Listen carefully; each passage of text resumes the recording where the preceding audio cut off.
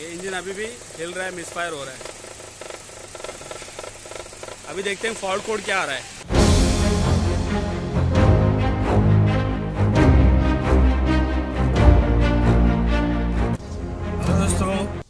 कैसे हैं आप लोग? उम्मीद करता हूँ बढ़िया होंगे। दोस्तों, मेरे पास एक गाड़ी आई है हिंडा ग्रैंड आइटन ठीक है? उसमें एक इशू आ रहा है, गाड़ी इंजन मिसफायर हो रहा है और गाड़ी चलते चलते बंद पड़ रही है। देखते हैं इसमें क्या इशू आता है, क्या इशू हो सकता है। तो अभी मैं स्कैनर लगाया हूँ। स्कैनर लगा के देखते हैं कि कोड क्या आ रहा है पहली बात। हैं कि ये हमारा एक्सटूल है। इसको कनेक्ट किया है मैंने। ऑटोमेटिक स्कैन में जाते हैं।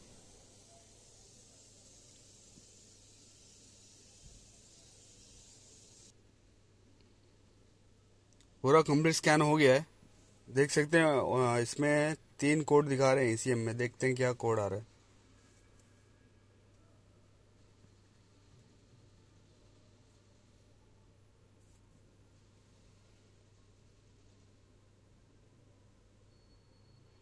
तीन कोड आ रहे हैं। मुझे लगता है पहले दो कोड ही थे, अभी एक तीसरा कोड भी आ रहा है। मुझे लगता है टेक्नीशियन ने कुछ वायर निकाल दिया किसी चीज़ का। एक बार वापस से करके देखते हैं। वायर तो कोई नहीं निकाला है। ये तीन कोड आ रहे हैं। System too lean at idle तो और एक ये तीन कोड आ रहे हैं। P zero one three four P zero one one three two और P two one eight seven ये दोनों तो है आ, अपना क्या कहते हैं ओडू सेंसर के। जो अगर ओटो सेंसर या आपका ख़राब होता है तो ये कोड आ सकता है या सिस्टम में कुछ प्रॉब्लम होगा तो भी, भी ये कोड आ सकता है। सिस्टम में यानी इंजन से जो मतलब क्या बोलते हैं इमिशन निकल रहा है वो सही है या नहीं अगर वो ख़राब रहेगा तो भी ये कोड आता है। अगर नहीं मतलब इंजन में मिसफायर होगी तभी भी ये कोड आता है। तो देखते हैं ये कोड किस लिए आ रहा है जो P two one eight seven है। निकल निकल।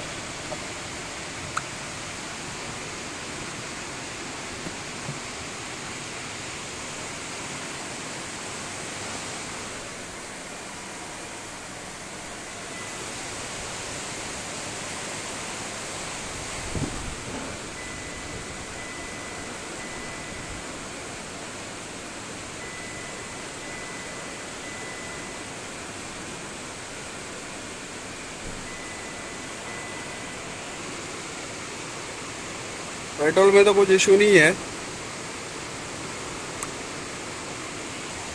पेट्रोल में ऐसे इशू पता नहीं चलता आँख से देखने जब ज़मीन पे डालेंगे ना, पानी अगर होगा उसमें तो पता चलता है, पानी अलग होता है और पेट्रोल अलग होता है।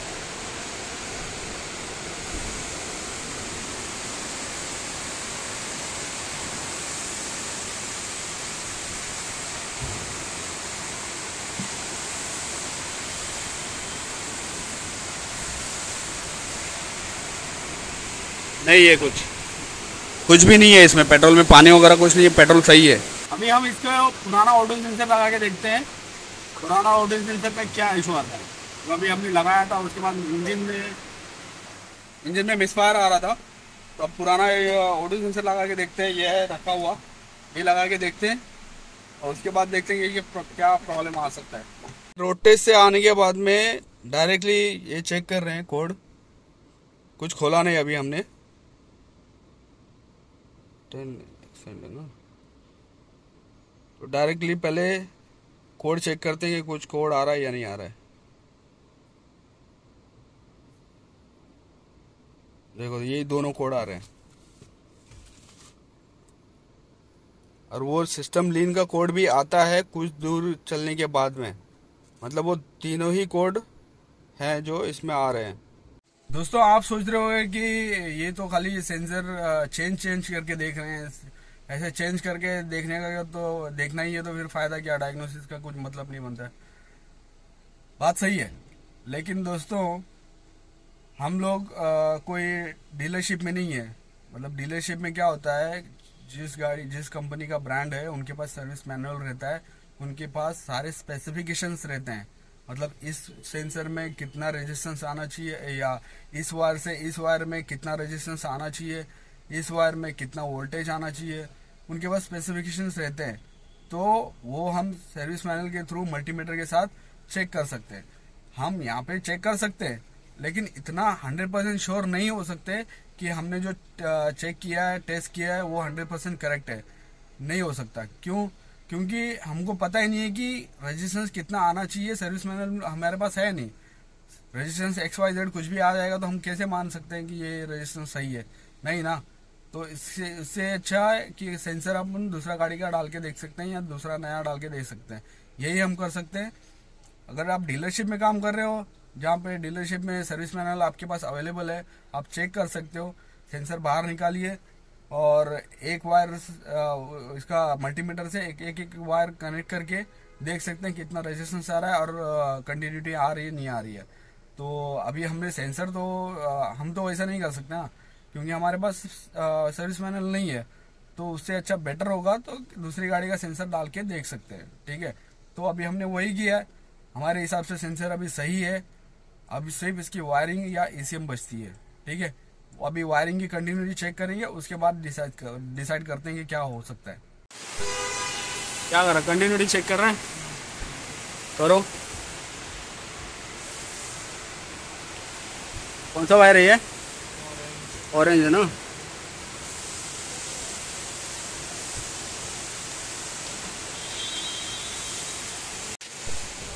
ये ऑरेंज कलर है ना?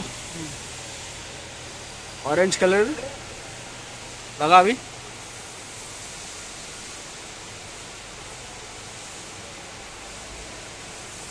नीचे चेक कर रहा था तू। ये आ रहा है हाँ। लगा। इसमें बराबर है कंटिन्यूटी ठीक है, दूसरा चेक कर, दूसरा वायर हटा हटा ये ब्राउन वाला है ना? ये ब्राउन वाला। कहाँ पे आ रहा दिखा।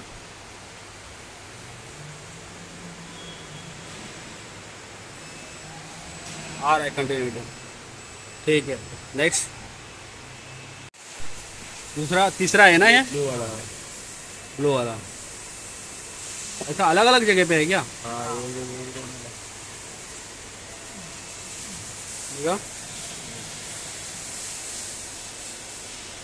बराबर। ठीक है चौथा देखो। लगा। कौन सा वाला हाथ एक में? वाइट कलर का है ना ये? वाइट कलर का। ठीक है। लगा। आ रहा है और एक जगह पे आ रहा है। ग्राउंड हाँ, है ये। मतलब अपना ग्राउंड भी सही है। ठीक है। तो दोस्तों अभी हमने इसके पूरी वायरिंग वायरिंग तो चेक कर ली है। वायरिंग तो कहीं से ब्रेक नहीं है कुछ नहीं है। ये ऐसे कपलर यहाँ से चेक कर लिया ओडी सेंसर तक सब कुछ ओके है। अब इसमें दो ही फॉल्ट हो सकता है, या तो वायरिंग सॉरी कैथलिक कन्वर्टर ख़राब होगा अपना, क्योंकि वो कैथलिक कन्वर्टर ऐसे तो नहीं दिख रहा है, लेकिन हो भी सकता है कि कैथलिक कन्वर्टर में कुछ इशू हो। और दूसरा है ई सी एम डाल के भी चेक करना पड़ सकता है, लेकिन दोनों ही चीज़ें महँगी हैं। तब हम इसको गाड़ी को ओएम भेजते हैं। ओएम यानी सर्विस डीलरशिप क्योंकि थर्ड कॉल लेना बहुत ज़रूरी है क्योंकि ई e भी बहुत महँगा है और कैथलिक कन्वर्टर भी अगर हम डालेंगे तो भी वो भी बहुत महँगा है। तकरीबन एक लाख रुपए के आसपास इसका नया कैथलिक कन्वर्टर आता है हुंडा एक्सेंट गाड़ी का। तो अभी उधर भेजते हैं क्योंकि हमने कैथलिक कन्वर्टर तो चेक कर लिया था उसमें कुछ ऐसा दिख तो नहीं रहा था लेकिन हो सकता है फिर भी उसमें कुछ इशू हो। बराबर से आ, काम नहीं कर रहा होगा। तो कैथलिक कन्वर्टर ये इधर आता है पीछे। इंजन के पीछे। ये वाला जो है। तो ये वाला कैसे कन्वर्टर है। या तो उसका हो सकता है या तो फिर ई e का हो सकता है। दोनों में से एक है। गाड़ी ओ e को भेजना पड़ेगा क्योंकि थर्ड कॉल लेना बहुत ज़रूरी है। क्योंकि हमारे हिसाब से तो वायरिंग में कुछ इश्यू नहीं है। अब देखते हैं, गाड़ी ओ e भेजते हैं, फिर उसके बाद चेक करेंगे।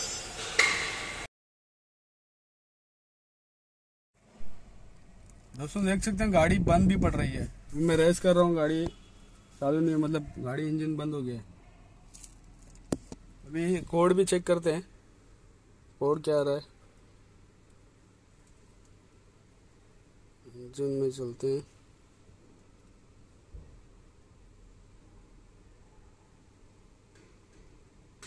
ऑटो सेंसर वन और टू दोनों का कोड आ रहा है, अभी भी आ रहा है दोस्तों। अभी भी कोड सेम आ रहा है। Circuit high voltage no activity अब ये प्रॉब्लम है इसमें। ये गाड़ी पंद्रह दिन के बाद में कैथलिक कन्वर्टर भी डाल दिया, तभी भी गाड़ी में सेम इशू है। वो भी ओ e ने डाला है, हमने नहीं। गाड़ी ओ e भेज दिया था तब भी।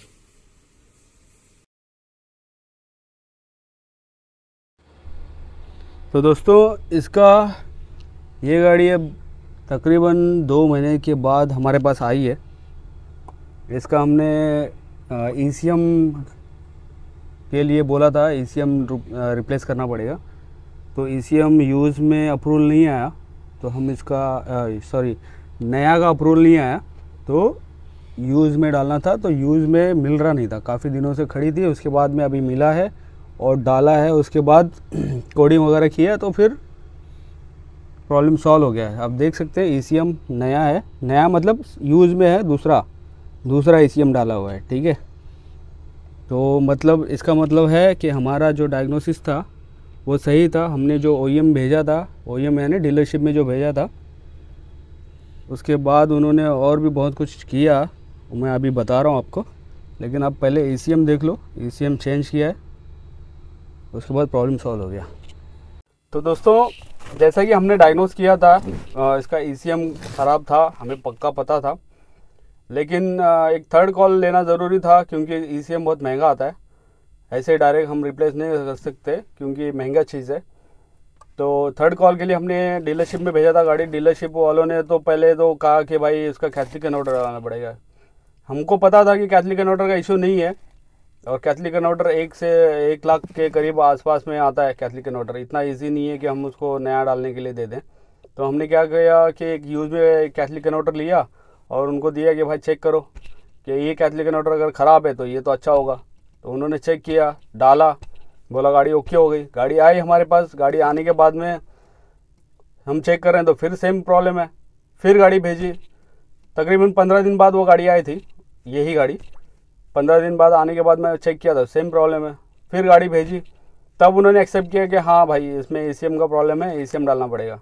फिर हमने इसे हम नया तो नहीं लिया क्योंकि कंपनी ने अप्रूवल नहीं दिया था। तो यूज़ में का लिया और दिया, उसके बाद प्रॉब्लम सॉल्व हो गया। गाड़ी अभी आई है हमारे पास, अब हम इसको चेक करेंगे। गाड़ी ए सी तो मैंने आपको दिखा दिया एसीएम रिप्लेस हो चुका है। तो अब इसको चेक करेंगे और फॉल्ट कोड क्या है, देखेंगे। फॉल्ट कोड अगर आ रहा है तो ठीक है, नहीं आ रहा है तो ठीक है। गाड़ी सिलेक्शन अभी ऑलरेडी हो गया है तो हेल्थ रिपोर्ट में जाते हैं। अगर यहाँ से आप डायरेक्ट सिस्टम सिलेक्शन भी कर सकते हो डायरेक्ट इंजन खाली चेक करना है तो इंजन भी कर सकते हो। अपन पूरा सिस्टम सेलेक्ट करेंगे, पूरा पूरा हेल्थ रिपोर्ट निकालते हैं, देखते हैं। देख सकते हो, कोई भी फॉल्ट कोड नहीं है इंजन में। सब क्लियर हो गया, ठीक है? तो दोस्तों अभी आपको समझ में आ गया होगा कि आपके पास अगर ये तीन फॉल्ट कोड वाली गाड़ी आती है, तीन फॉल्ट कोड कौन से कौन से? P P zero one three four P zero one three two P zero P two one eight seven ये तीन फॉल्ट कोड अगर आपके पास आते हैं गाड़ी कोई आती है हिंडाई की एक्सेंट हो या ग्रैंड आइटन हो तो या आई ट्वेंटी भी हो सकती है। तो ये तीन अगर फॉल्ट कोड आ आ रहे हैं आपके गाड़ियों में तो आपको पहले तो आपको पहले ऑटो सेंसर चेक करना है। ऑटो सेंसर ऑटो सेंसर डालने के बाद भी अगर प्रॉब्लम सॉल्व नहीं हो रही है ऑटो सेंसर आपने चेक कर लिया ऑटो सेंसर सही है तो आपको वायरिंग चेक करनी है। जैसे कि आपने प्रोसीजर में देखा कि वायरिंग कैसे चेक करते हैं, आपको वैसे वायरिंग चेक करनी है। उसके बाद कंक्लूजन पे पहुँचना है ईसीएम अगर वायरिंग भी सही है ऑटो सेंसर भी सही है, और जैसे कि ओईएम ने बताया था कैथलिक कन्वर्टर भी हो सकता है। तो कैथलिक कन्वर्टर एक बार देख लिया करो। उसका जो नीचे से जाली अंदर आप साइलेंसर खोलोगे तो नीचे से उसके जो अंदर मटेरियल दिखता है, वो दिखना चाहिए। जो उसका फ़िल्टर होता है अंदर, वो दिखना चाहिए या वो जाम नहीं होना चाहिए। एकदम कभी कभी होता है कि क्लॉक होता है, एकदम जाम होता है तो वो भी एक बार चेक कर लिया करो। उसके बाद फिर एसीएम तक पहुँच सकते हो। तो ये तीनों चारों चीज़ें रीज़न हो सकती हैं, ये सेंसर ये फॉल्ट कोड आने के, ठीक है? तो इनमें से कुछ भी हो सकता है। आपको स्टेप बाय स्टेप कैसे डायग्नोस करना है, वो आपने इस वीडियो में देख लिया। और वीडियो अगर अच्छा लगे तो वीडियो को लाइक करिए। और चैनल पर नए आए हैं तो चैनल को सब्सक्राइब करिए। इस तरह के टिप्स एंड ट्रिक्स वाले वीडियो को देखने के लिए ऑटोमोबाइल रिलेटेड ठीक है? मिलते हैं नेक्स्ट वीडियो में। तब तक के लिए गुड बाय